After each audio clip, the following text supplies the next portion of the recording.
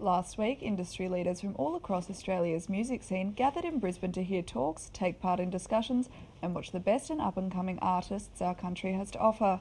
The issue of sexism in the music industry was the talking point of the conference, and Matilda Edwards went to see what it was all about.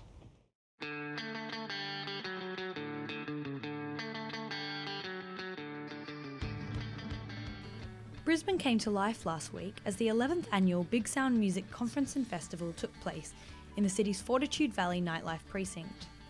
15 venues hosted sets from more than 150 bands over two nights, while during the day, delegates attended panels and keynotes from hundreds of local and international industry figures and tastemakers in what is the Southern Hemisphere's biggest music industry event. Keynote from Jessica Hopper, editor in chief of Pitchfork and one of the world's most prolific music journalists and feminist writers, was the highlight of the week the best attended event of the conference, and remains a talking point all across the internet. In a speech that moved both men and women in the audience to tears, Jessica spoke of the inherent sexism and inequality faced by women and other marginalised groups in the music industry.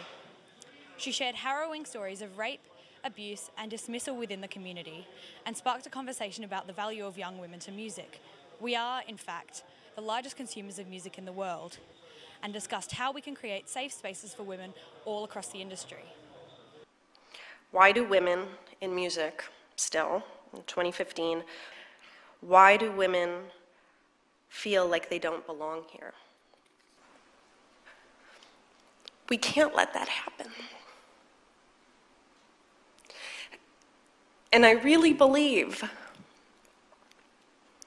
I believe we are in a time right now where people want that to change. Matilda Edwards, City Journal News.